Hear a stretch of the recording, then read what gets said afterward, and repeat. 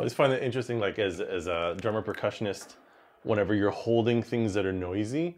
So like like if you have like a like a set of sticks or a bell or a chime, or like uh, shaky bells, or in this case like foil. Like the I feel like we finished the performance, and now I'm holding this thing, and I have to like.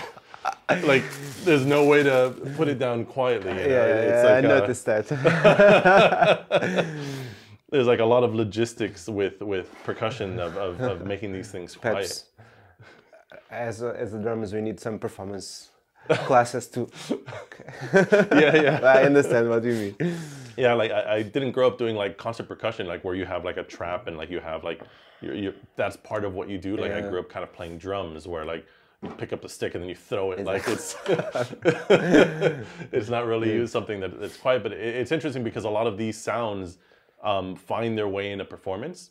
So like with the setup that I'm using, I can. Um, you know, like when this mic is, is live, it picks up everything. So if I put anything down anywhere near, it's like it becomes quite loud, Loud. and it, it kind of becomes part of the voice. Like I, I try to be quiet about it, but I, I can't. Like it's so it becomes part of the instrument in terms of how you move the instrument or how you kind of engage with this, or like grabbing things, like those sounds are Yeah, yeah, yeah. you know become part of it because it, it's impossible to make them quiet.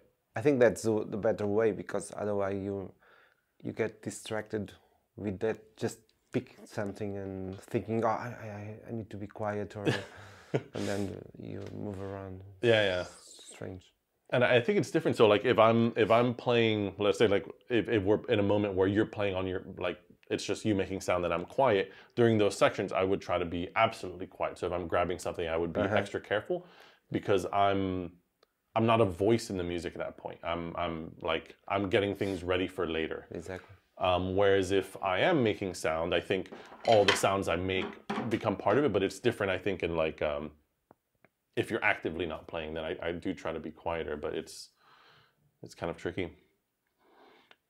Um, some quite interesting sounds that you had. Like I, I it's it. You know, I've talked about it a couple times because I've, I've played with a few drummers, uh, like in in this series. And I, I really enjoy um, drums, drums, or percussion, percussion, or drums, electronics, drums. Like when you have uh, we have sounds that are overlap a lot. So like you have metal cymbals, I have well, a very Yeah, small yeah, cymbal. I have a snare, you have a snare. So we have similar sound sources, but our languages are very different, and and our uh, how they interact is very different. Um, which yeah, I find very interesting to see how that plays out. You know, Yeah. Like, yeah. there were some kind of cool moments where we had um, kind of like uh, voice duets. Like we had like low sounds and low sounds, and then we had Yeah, like a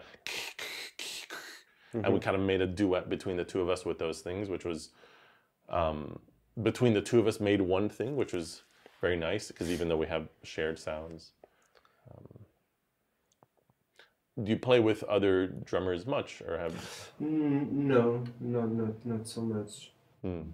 I think the last time I played with another drummer was with um, Pedro Melo Alves. Yeah, yeah, yeah. Which uh, the, with two trumpets, but uh, it's not.